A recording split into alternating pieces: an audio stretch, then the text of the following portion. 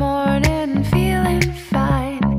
There's something special on my mind. Last night I met a new boy in the neighborhood. Oh, yeah. Something